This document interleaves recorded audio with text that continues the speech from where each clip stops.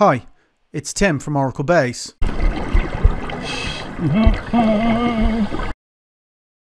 In this video we'll give a demonstration of Simple Oracle Document Access or SODA for SQLCL.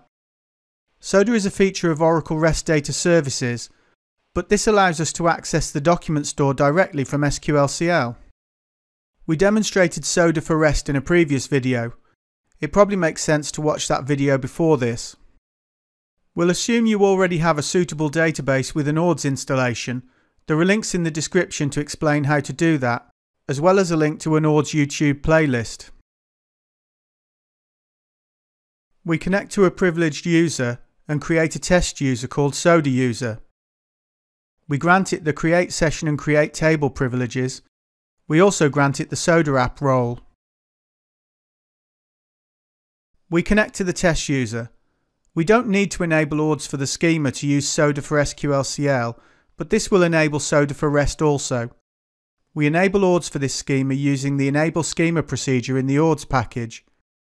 We've used a URL mapping or schema alias that matches the username. We wouldn't normally do this, preferring to give a friendly alias.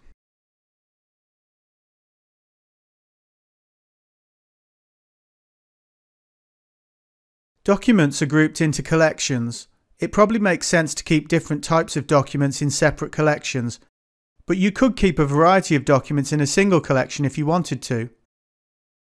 We use the soda create command to create a new collection, passing the collection name, which is case sensitive.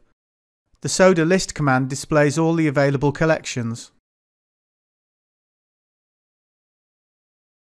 On the database we can see a table has been created for the collection. Notice the name is quoted as it's case sensitive. The table is essentially a key value table. The ID is the key and the value is the JSON document column, with the JSON stored as a blob. From 20C onward, this is likely to use the new JSON data type.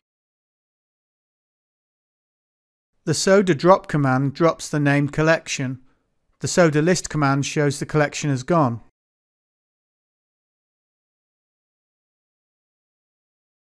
The rest of the examples require the collection, so we'll recreate it.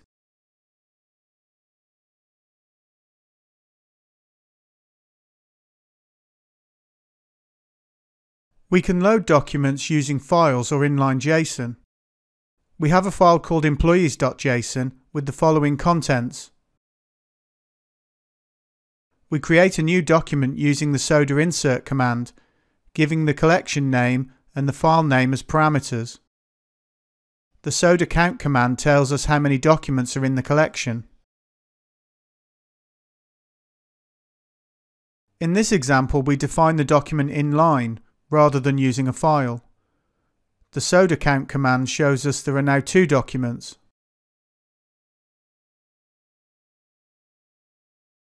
We retrieve all document metadata using the soda get command, passing the collection name and the all flag. This displays the document key and created date. Using the "-k option allows us to return a specific document using the key. The "-klist option allows us to return multiple documents using a space-separated list of keys.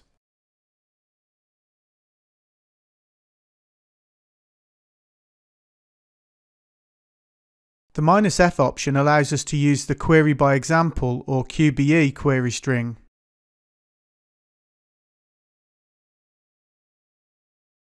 We update an existing document by replacing it we check the current document contents. We see the value Apple. We use the soda replace command, passing the collection name, document key, and the inline document to replace it with. We could use a file instead as we did with document creation. This returns the document key and a success message. We check the document contents again and we see the value has been updated to banana. The soda remove command deletes a document. We check the number of documents in the collection. We use soda remove passing the collection name and an identifier of the document to be deleted. In this case we use the QBE option to identify the documents to delete. We could have used the minus "-k" or minus "-k" list options instead. We then check the number of documents in the collection and we can see one document has been removed.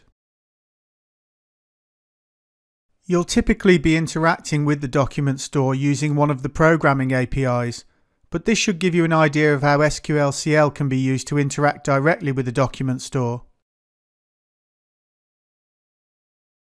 Thanks for watching. As always, there are links to articles containing lots more information about this subject in the description box below.